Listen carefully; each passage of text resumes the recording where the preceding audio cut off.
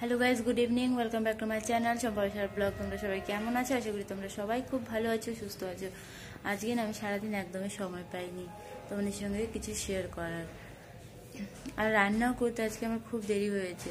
তিনটে বেজে গেছে, তিনটে, সাড়ে তিনটে বেজে গেছে রান্না করতে করতে। মানে বেশি কাজ ছিল না, তবুও আজকে সময় পাইনি, মেয়েকে নিয়ে বসেছিলাম। আর আজকে একটু রোদে বসেছিলাম। সেই জন্যই সময়টা চলে গেছে। হ্যাঁ একদম ওইদিকে। বুঝতেই পারিনি, আর রোদে বসা একটু দরকার ছিল, ঘরে প্রচুর ঠান্ডা লাগছিল। সেই জন্য মেয়েকে নিয়ে আবার আমি ছাদে চলে গেছিলাম আজকে। তো সেখানে একটু সময় কাটালাম মেয়েকে নিয়ে। ওরও ভালো লাগল, রোদ লেগেছে গায়ে। ঠান্ডার সময় তো এখন প্রত্যেক দিনই দরকার রোদ লাগানোর, কিন্তু প্রত্যেক দিন তো যেতে পারি না। আজকে একটু ভাবলাম রোদ লাগিয়ে আসি, সেই জন্য গেছিলাম। সেই কারণেই আজকে আমার সব কিছু দেরি হয়ে গেছে করতে রান্না বান্না আর সকালে তো কাপড়ও কেচে দিয়ে গেছিল সেই জন্য আমার আজকে কাপড় জামা কাচতে হয়নি। আজকে একটু দেরিতে কাজে গেছিল তো, সেই জন্য। এখন সন্ধে রাতে তো কখনই হয়েছে। এখন বাজে আটটা, এখন আমি যাচ্ছি চা বানাতে। ও তো চলে এসছে, গেছে একটু বাইরে, সবার সঙ্গে কথা বলছে। তো ততক্ষণে আমি একটু চা রেডি করে নিই।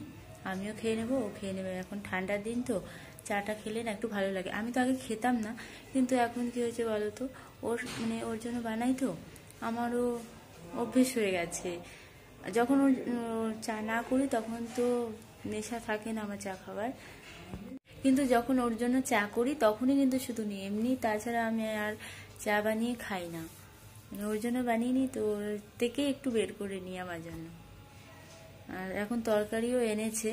চলো সেটা তোমাদেরকে দেখিয়ে দিচ্ছি।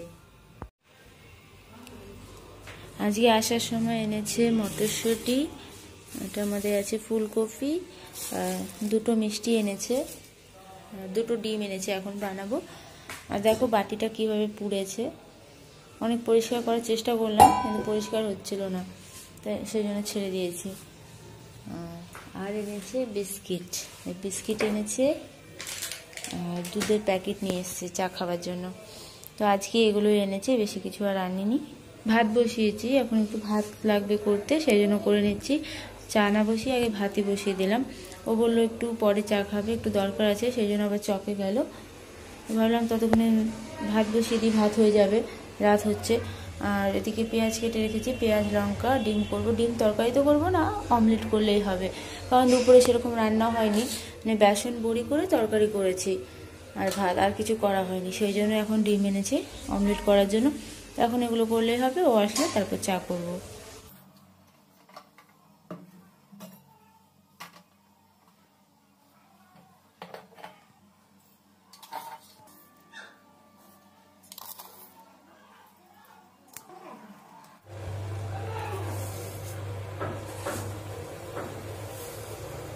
এখন চলে এসছে, সেই জন্য ভাত নামিয়ে আগে চা করে নিচ্ছি। চা হয়ে যাবে, তারপর ভাত বসিয়ে দেব।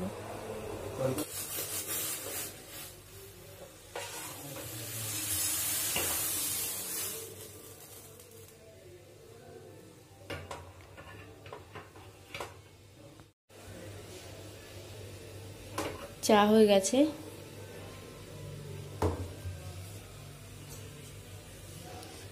ভাত বসিয়ে দিচ্ছি।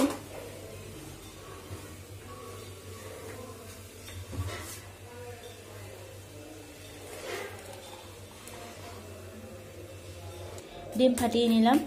ভাত হয়ে যাবে, তারপর অমলেট করে নেব। এদিকে মিষ্টি বাটির মধ্যে বের করে রেখে দিলাম। কালকে আবার ওকে তাড়াতাড়ি কাজে বেরোতে হবে, তো সকাল সকাল সেই জন্য বলছে তাড়াতাড়ি খেয়ে দিয়ে ঘুমিয়ে পড়বে। ঠান্ডার দিন এখন না যেন সকালে না, উঠতে ইচ্ছে করে না। কিন্তু কি করবে? কাজে তো যেতেই হবে।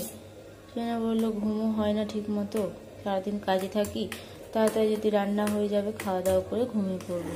জন্য আমিও তাড়াতাড়ি করে নিচ্ছি। ভাত হয়ে গেছে। এদিকে দেখো আমি সব কিছু রেডি করে রেখেছি, মার গালতে হবে তো, সেই জন্য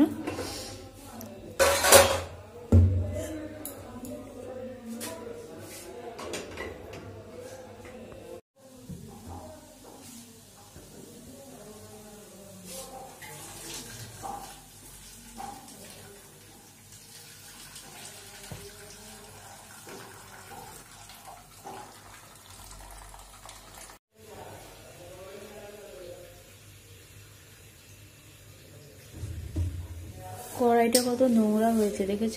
মানে আমি সময় পাচ্ছি না ঠিক মতো পরিষ্কার করার। তাড়াহুড়োর মধ্যে ধুয়ে নিই, সেই জন্য পরিষ্কার করা হয় না আর ভালো করে।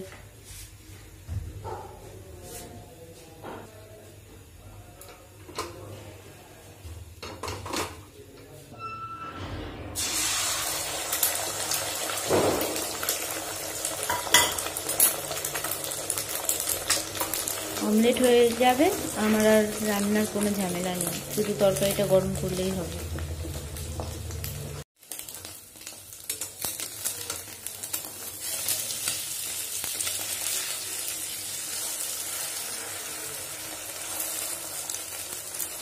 আমি ঠিক মতো না উল্টাতে পারি না কড়াইয়ের মধ্যে দিই সেজন্য অসুবিধে হয়ে যায়।